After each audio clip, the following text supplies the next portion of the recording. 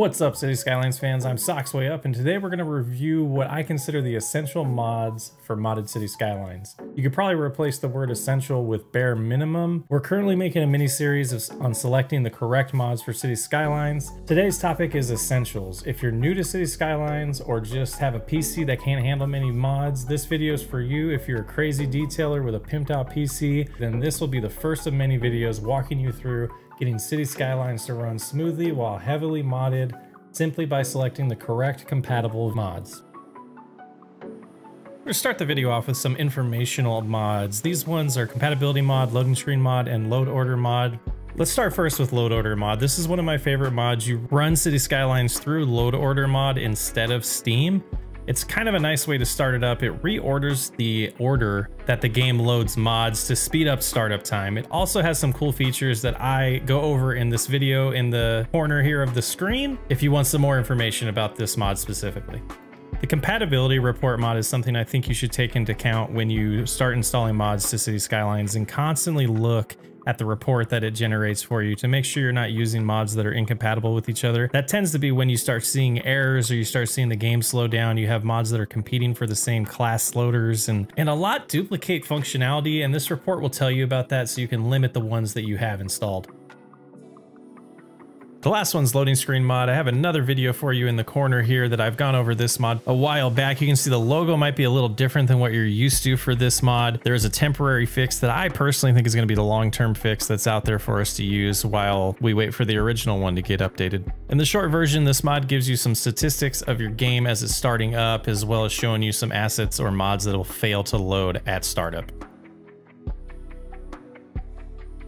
Next are a few mods that I deem vanilla worthy. They should be part of Vanilla City Skylines and they just aren't. First off is Harmony mod dependency. It is what it sounds like. It's dependency for mods that you are going to install later on. For example, Traffic Manager President's Edition. This is an amazing mod. It lets you dictate which lanes people can drive in and which ones they can turn in and many, many more. Check out some tutorials online for that, but it's a must needed mod in City Skylines in my opinion.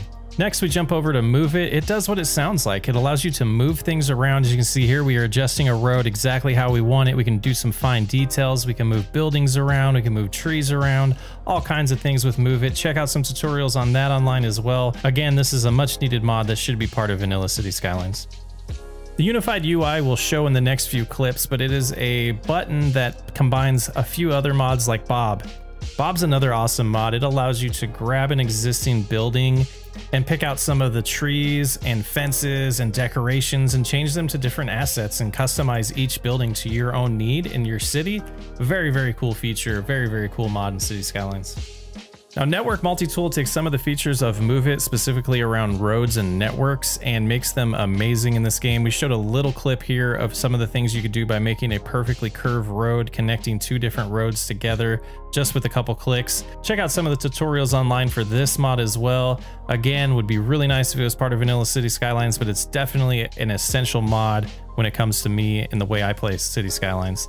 The last one we're going to touch on in this video is instant return to desktop. It does exactly what it sounds like. You click go to desktop and it instantly shuts down the game.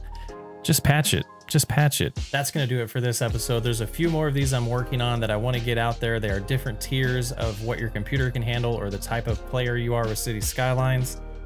In the description, there'll be a link to this collection on Steam.